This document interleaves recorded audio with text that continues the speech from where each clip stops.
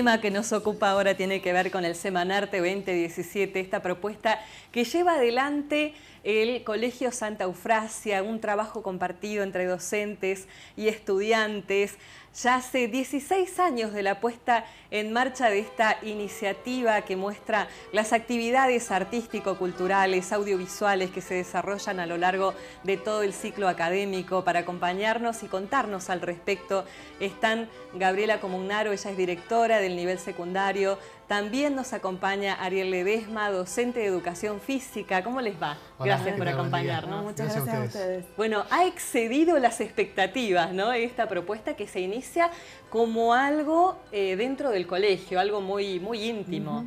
Sí, así es. La verdad que sí, estamos muy contentos. En realidad, cuando se diseña el nivel medio y empezamos a trabajar en la propuesta de la orientación que debe hacer en arte, artes visuales, eh, llegada pasada el segundo trimestre teníamos ganas de empezar a compartir algo con los papás, pero como vos hacías muy bien referencia, era algo más íntimo y eran pequeñas expresiones, pero después tenemos profes muy inquietos y con ganas de, bueno, de seguir explorando y bueno, y empezó a tomar la, dimensión y la magnitud que han sido, por ejemplo, este año 10 noches con innumerables producciones, así que muy contentos. Y con una muy buena propuesta, eh, respuesta de parte del público, ¿no es cierto? Eh, sí, los padres, los amigos, la familia toda nuestra comunidad educativa nos, nos, reacompaña.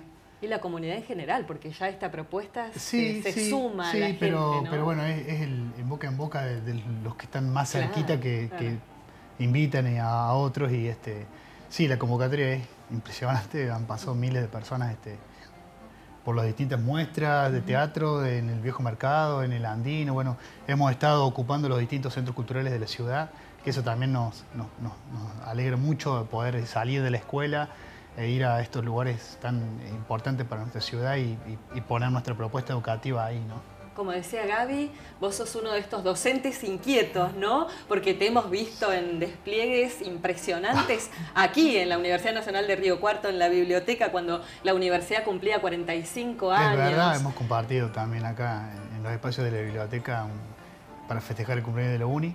Sí, somos inquietos, muchos, muchos los chicos nos, este, nos, aceptan, nos reciben, nos, conectamos con ellos y, hay que ponerle muchas ganas. Digo, nuestra profesión de docente implica eso, ¿no? Eh, poner muchas ganas, mucho tiempo para que este, ese, ese encuentro, esa comunicación, esa educación este, aparezca, digamos, se, logre. ¿Qué condensa Semanarte? Eh, para mí no lo debemos ver como una cuestión de espectáculo, sino como bueno, charlábamos con Ariel los otros días, es, el espacio áulico que uno lo traslada a otra locación. Entonces me parece eso, es la suma de voluntades, es entender lo que los chicos quieren hacer y la concepción de que el conocimiento se construye a través de la danza, de la expresión corporal, de un video. Es un conocimiento que estamos construyendo, docentes como facilitadores y alumnos con esa voluntad y con esa magia que contagia. Es, es eso. Esta noche a las 21 van a cerrar estas 10 jornadas de trabajo intenso con eh, Verse, Cuerpo. Sí, esta noche vamos a, con la última noche, este, con un montón de emociones fuertes, porque cerramos otro año más con, mucha alegría, con mucho disfrute. Este, así que esperamos que nos acompañen todos. Va a ser a, a las 21 en el viejo mercado, están todos invitados. ¿Y con qué se va a encontrar la gente que asista? La gente se va a encontrar con, la cuarta noche del Verse Cuerpo. El Verse Cuerpo es una propuesta del área de educación física este, que tiene que ver con esto de pensar el desarrollo corporal desde lo artístico. Y, bueno, ahí se tejen caminos, historias que tienen que ver con cómo nos atraemos hacia, hacia nuestra escuela, cómo nos tramamos, cómo generamos esa, primera fibra. Y nos reímos tratando de, pensar la locura que, lleva esa fibra, ¿no? Y bueno, tenemos una especie de puesta en escena que tiene que ver con la locura. Y este año eh, involucramos esta cuestión de la identidad, con los usos, con, esa fibra ordenada para que después pueda, empezar a, dar la idea de que uno empieza a jugar y a volar eh, y a lanzar y a, y a sostenerse. Bueno, se va a encontrar con una puesta en escena que tiene que ver con con lo, esencial de la vida, que es sostener al otro, encontrar, comunicarse con el otro, eh, eso. Y bueno, se va a encontrar también con, toda esa energía que le ponen los changuitos, que realmente nos, sobrepasa, nos, desborda. Y, se va a encontrar con mucha alegría. Eh, hay múltiples manifestaciones desde el Colegio Santa Eufrasia, está teniendo una importante repercusión en el medio en el que está inserto este colegio. Recordanos, Gaby, ¿cuál es la orientación? En arte, artes visuales.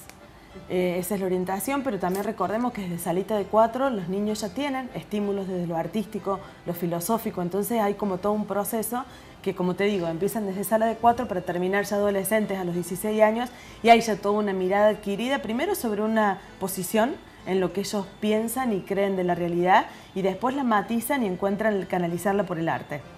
Yo creo que ese es el resultado y también me parece que confluye mucho el compromiso de los profes eh, los profes dejan su vida en el colegio y eso se nota. Esta propuesta no lo podrías hacer lo que dice la currícula, tres horas semanales, cuando te podría contar que son horas y horas y horas y fin de semana que están los profes junto a los alumnos. Entonces, la dedicación, el compromiso, me parece de la convicción de la escuela que, queremos. Semanarte continúa, ¿no es cierto? Eh, esta es una propuesta que ha llegado para quedarse. Totalmente, ¿Sí? Vamos a intentar sostenerla mientras nos dé la energía y ojalá podamos encontrar ese engranaje para la, continuidad futura, ¿no? que no solamente quede en, nosotros, sino que...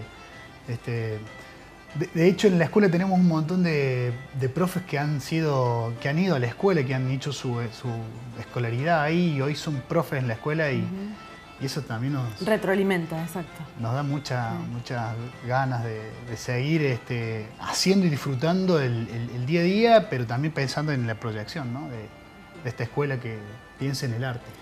¿Cuál ha sido el crecimiento institucional si tuvieses que hacer un balance hoy?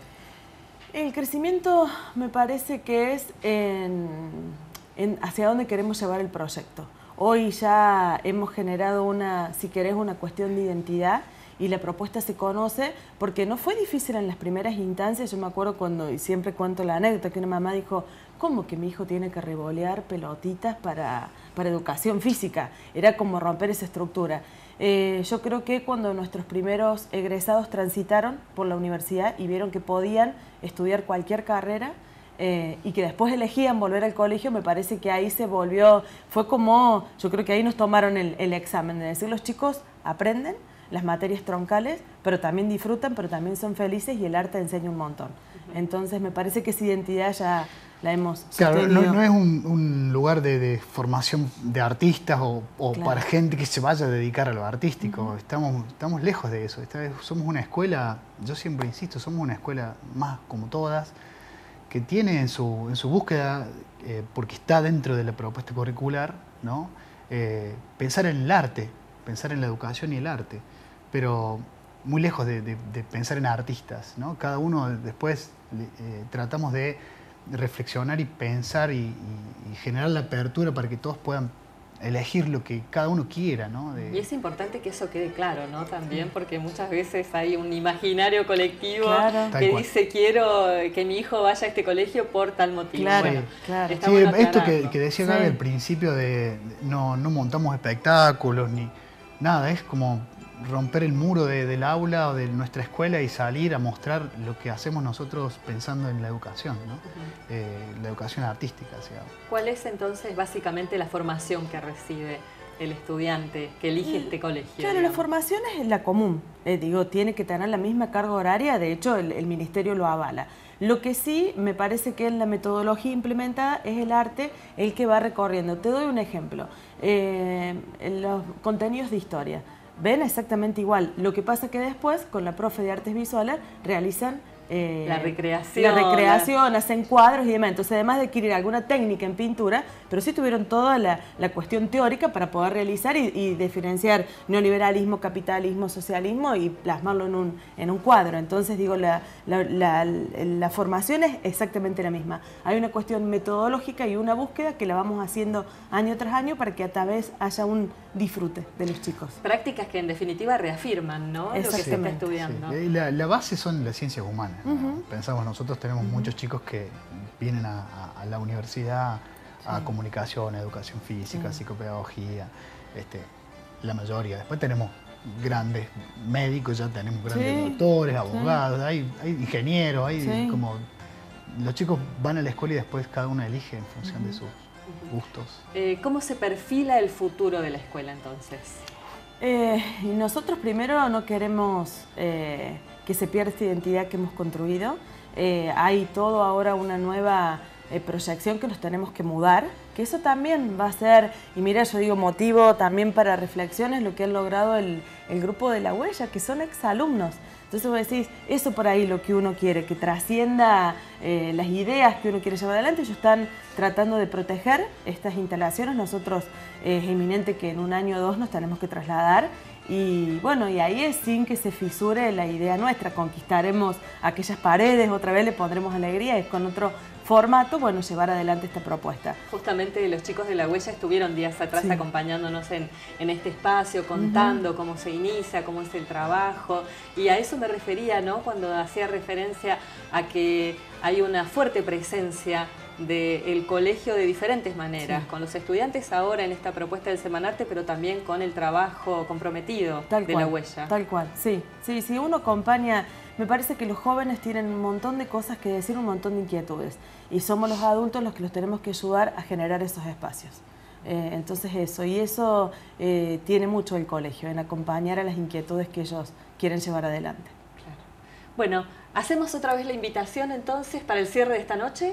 Como no, eh, los esperamos en el Viejo Mercado a las 21 horas para cerrar nuestra Semana de las Artes con la propuesta del Verse Cuerpo, esta propuesta del área de educación física que tiene que ver con este, el baile, la danza, el teatro, la música. Así que los esperamos a todos y muchas gracias. Bueno, gracias a ustedes por haberse acercado hasta aquí a esta pantalla libre, por compartir con nosotros. ¿eh?